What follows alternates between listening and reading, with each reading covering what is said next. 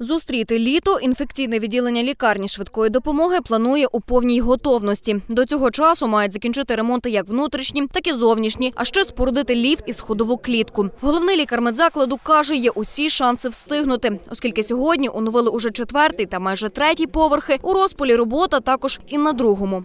Продовжуються роботи на другому поверсі. Вони вже також на завершальній стадії. Залишилося вже такі оздоблювальні і роботи, і потім генеральне прибирання. І на кінець лютого ми готові будемо розміщувати пацієнтів на другому, третьому і четвертому поверсі.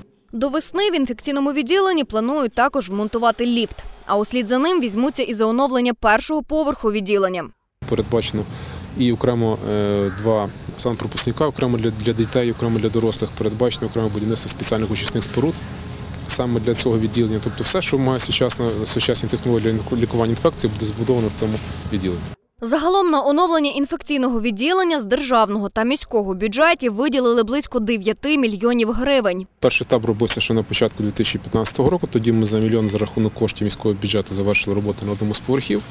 Далі був розроблений проект на, на решту. І на власне на цю решту ми отримали частину коштів з державного бюджету з фонду регіонального розвитку, це 5 мільйонів гривень. Різниця місто дофінансовує своїх власних коштів за рахунок бюджету міста Тернополя. Ну, Загально проект зроблений на 9 мільйонів гривень. А поки робота кипить, відділення продовжує приймати хворих. На щастя, каже головний лікар медзакладу, їх кількість невелика, тож місця на робочих першому та четвертому поверхах вдосталь. Ми маємо е, в- на стаціонарному лікуванні в інфекційному відділенні 46 пацієнтів. Е, Із них е, хворих на ГРВІ і грип ми маємо 37 пацієнтів.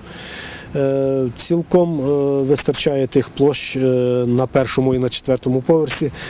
Є у нас, як ви бачили, ще в палатах вільні ліжка, і там можна ще додатково госпіталізовувати до десятка пацієнтів. Лікарня швидкої допомоги не єдиний медичний заклад, який оновлять у 2016-му. На низку місцевих лікарень, каже очільник Тернополя, цьогоріч також очікують ремонтні роботи та нове обладнання. У 2016 році е, у нас заплановано близько 4 мільйонів гривень, які підуть на потреби медицини. Це в основному піде на придбання медичного обладнання, на проведення ремонтних робіт. Я розраховую, що це тільки початкові кошти, тому що ми традиційно кожного року плануємо одну суму, протягом року маємо можливість дофінансовувати.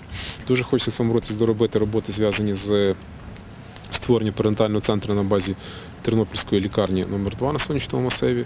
Ну і також є цілий ряд інших робіт. Тобто кожна лікарня має отримати частину якогось обладнання.